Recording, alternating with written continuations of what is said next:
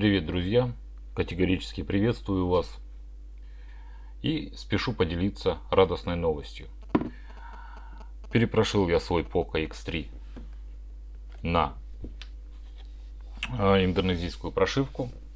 Все файлы по этому поводу будут в описании.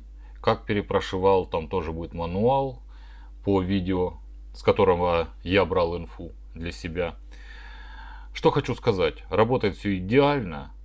Единственное, с чем я столкнулся, это после перепрошивки банк заблокировал мою сим-карту. Ну, то есть для того, чтобы мне нужно было зайти в банкинг, мне нужно было поехать в банк.